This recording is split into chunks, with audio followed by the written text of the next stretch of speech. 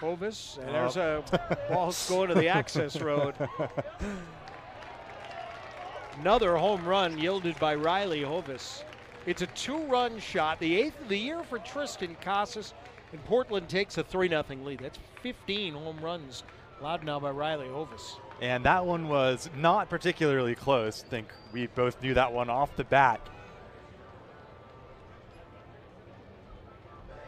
It's a 3 0 Portland.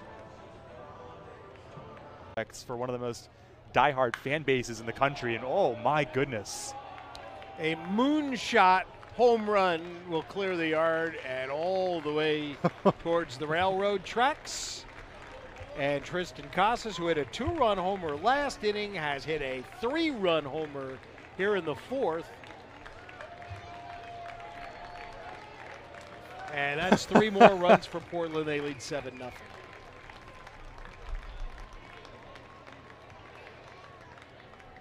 Going to wind up being 472. Cross, but it didn't work. 2 1 pitch. Casas has his third home run of the night. This one may be as far as that other one. Boom goes Casas. 6 0 Portland. Well, it's going to be a pretty hard to top a 472 foot home run that he hit in game one. But Casas is dialed in tonight. In fact, the Sea Dogs are dialed in tonight.